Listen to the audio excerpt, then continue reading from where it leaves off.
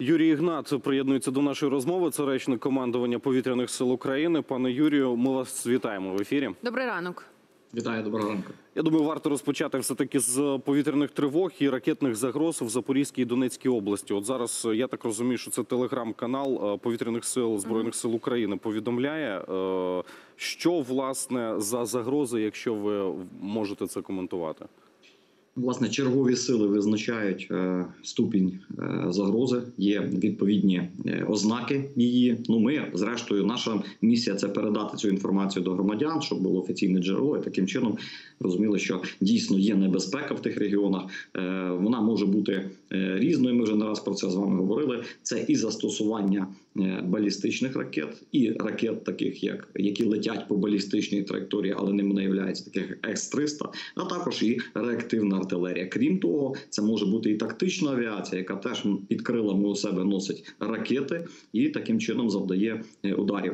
Тривог стільки е, ну насправді багато, їх десятки за день. Тому власне повідомляти про усі е, в реальному режимі часу не так просто. Тому основні власне такі от загрози будемо публікувати і таким чином сповіщати якомога швидше, щоб громадяни могли уберегти себе та своїх рідних. Так, дійсно, довіряти виключно офіційним перевіреним даним, офіційним джерелам інформації. Це важливо, тому що зараз багато є тих, хто спекулює на обстрілах і на тому, як працює наша система ППО. Тому будемо пильні. Пане Юрію, то інформація, яку ми озвучили про е, попередні та повітряні загрози, про повітряні тривоги. За інформацією повітряних сил, два ворожі ударні вертольоти, 12 безпілотників було збито силами. Е, Куди вони направлялися? Що це були за атаки? Чи повідтили ви якусь різницю серед того, що було раніше? Ну, Власне, з вертольотами інформація зовсім свіжа. Дуже хотілося її ще вночі, там близько вже після опівночі. Але думаю, треба трошки дати на ранок більше таких е, гарних новин, коли люди вже прокидаються. Мабуть, щоб ніч була більш-менш спокійна сьогодні. Хотілося б так, тому що сну дійсно мало у українців, тому що постійні тривоги власне впливають на психологічний стан. Тому притримали трішки на ранок, і близько 22-ї, близько 23-ї ці два вертольоти було знищено на Донецькому напрямку. Це нагадаю, що напередодні 16 е, червня був знищений теж К-52, і от ще дві пташки, два гвинтокрила. Дуже гарні для нас новини. Ударна авіація, е, включаючи К-52 ворога, продовжує власне е, атакувати тактичної авіації. е, Чимало так на полі бойових дій. Ну але ну не, не залітають за лінію бойового зіткнення, але дистанційно все ж таки завдають ударів. Тому по них відпрацьовується. Ну крім того, ви вже озвучили. Е, У нас 12 БПЛА різних типів. Це 4 шахеда ударних, е, Орлан, е, верніше ланцет теж ударний, а також Орлан 10, Орлан 30, Зала та Суперкам. Це власне розвідувальна авіація. Дуже багато сьогодні розвідників. Зокрема, вчора, як ви бачили, в області Київській теж була тривога, так а також в ряді північних областей, де безпілотники намагаються проводити розвідку повітряну і так, таким чином для того, щоб ворог мав уявлення, де в нас там засоби ППО, як в нас організовані там інші е, об'єкти захисту і так далі. Тому безпілотники це надзвичайно небезпечна річ, їх треба знищувати без варіантів. І навіть коли працює наша авіація в небі по БПЛА, чи е, хоча це БПЛА і розвідувальні, так чи працює ППО, треба розуміти, що це теж небезпечно, тому що е, будуть уламки падати вниз е, і від ракет, і від тих самих БПЛА. Тому теж тут треба себе берегти. Ну і крім того, ви вже, мабуть, бачили е, роботу теж е, м, в е, селі Партизани. Так забув назва. Так бачили, мабуть, палаючі склади боєприпасів. Ну тут вже командувач подякував е, у себе на телеграм-каналі офіційному хлопцям за е, гарну роботу. І менше менше боєприпасів, більше вогню, більше детонації ворожих складів, менше цього полетить по наших захисниках. От, власне, такі маємо сьогодні новини. Пане Юрію, ви про генічість кажете, так? Це Херсонщина, да, ми так розуміємо. Так, так, так. Ага, тобто підтверджується це відео, яке зараз ну воно зараз достатньо популярне на телеграм-каналах. Ми вже його відзначали. Ну так, власне, підтверджується. Я ж кажу, командувач у себе на офіційному телеграмі теж е, сказав, гарна робота, більше вогню.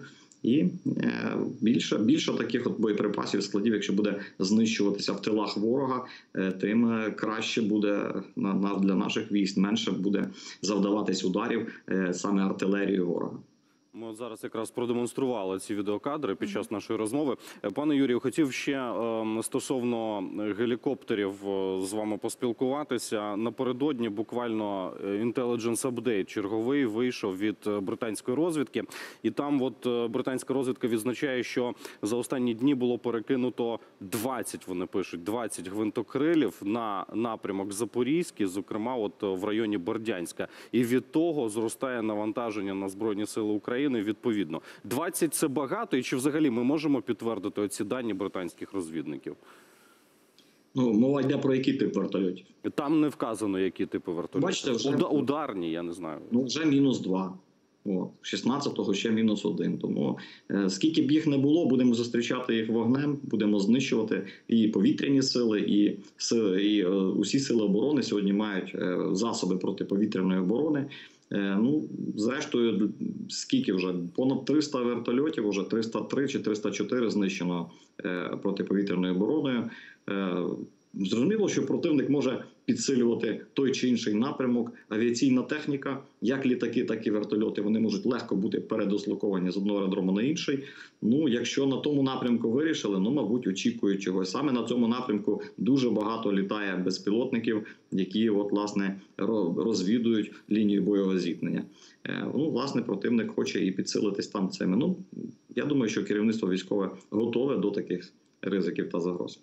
Ну далі про вертольоти не російські, а ті, які такі необхідні нам. Е, Поговоримо про літаки F-16. Країни НАТО можуть передати Україні старі винищувачі F-16, однак їхнє утримання коштуватиме сотні мільйонів доларів на рік. Принаймні такі висновки зробило видання Bloomberg. В якості підтвердження журналістки навели слова колишньої льотчиці Брін Таннехіл, яка розробляла симулятори для F-16. Таке обслуговування вийде дуже дорогим. Крім того, старі літаки матимуть менший термін служби, адже вони вже використовуються десятиліттями. Танехіл зазначила, що, хоч такі F-16 і вийдуть дорогими, однак, якщо надавати правильні системи озброєння, які підійдуть разом із літака- літаками, це може забезпечити бойову. Цінність Е, ну і тут дійсно варто е, поговорити, пане Юрію, з технічної точки зору, і те, які можуть бути ці літаки в Україні. Що ви думаєте? Зрозуміло, що прийдуть нові літаки до нас, чи це буде якесь застаріле озброєння? Це зараз є в темі обговорення? Чи ми готові приймати все, е, що нам дадуть? Є якісь ем, розмови стосовно цього? Дивіться, приймати все, е, що, що дадуть, ну це неправильний підхід. Мгм. Треба брати те, що знадобиться, і те, що буде нищити окупантів. Ми працюємо в тісних повітряні сили, керівництво повітряних сил, керівництво держави, Генерального штабу, Міністерства оборони. Всі працюють в тісному. Тісних консультаціях з нашими західними партнерами розуміємо, що потрібно, коли потрібно, хто це надасть, за чий кошт і як воно буде обслуговуватись, і яке озброєння буде надаватись паралельно. Тому що літак це круто, але він має мати потужний радар, має мати системи РЕП, системи захисту. Також має мати широкий спектр озброєння, яким треба буде нам і звільняти повітряний простір від окупантів, і наводити порядок на е, землі і на морі. Тому е, щодо F-16, щодо взагалі літаків. Вік літака доволі таки е, довгий. Ви подивіться, скільки років тим е, Ту-95, які використовує Росія. Ну, якщо це стратегічна дальна авіація. Ну так само інших типів. Наша авіація. У нас наймолодший літак 91-го року Су-27. Решта це все з е, радянських часів, 70-х, 80-х років розробки. Техніка. Авіаційна техніка вона обслуговується на профільних підприємствах, здійснюється е, авіаремонтні підприємства. Маю здійснюється як модернізація, так і капітальні ремонти, замінюються вузли, агрегати і так далі. Я думаю, що F-16 працюють зараз, от е, з- кра- з кращим обслуговуванням, де б вони не були, ніж з тим, що ми маємо сьогодні на наших авіаремонтних підприємствах. Бо ми не є виробниками цих літаків. Ми багато залежимо від запчастин, які не можемо виготовляти самі. Але за саме завдяки нашому оборонно-промисловому комплексу, усі ті роки незалежності, ми могли е, зберігати в в нормальному стані цю стару радянську техніку, яка і по нинішній день воює. Що стосується F-16, нам будуть надавати, мабуть, і логістичні всі е, е, бази для того, щоб їх утримувати. Головне, яке озброєння, який радар. І е, техніка буде працювати безумовно. А там далі можливо перейдемо і на інші типи, більш сучасні, кращі після нашої перемоги. Пане Юрію, але от е, ну орієнтовно, е, оці старі літаки F-16, Старі це про який рік виробництва плюс-мінус іде мова? Чи старі це може бути 2016, а може бути там не знаю, якісь е, 90-ті роки? Ну про, про що ми кажемо? От треба розуміти, які літаки е, не хочу наперед забігати, яка країна нам дасть. У кожної е, країни є партії літаків, які виготовлені в той чи інший рік. F-16 – це ровесник Міг 29 Це теж 70-х років розробок, скажімо так. Але F-16 пройшов декілька етапів глибокої модернізації. І якщо в ньому щось виходить з ладу, двигун знімають і ставлять туди новий двигун. Це ну це те, що чому літак літає. Оце однодвигуновий літак. Так таким чином інші вузли та агрегати можуть замінюватися. Планер може бути там 85-го року випуску, а усе решта вже оновлено. Тому це ну, як це ж літак, як конструктор.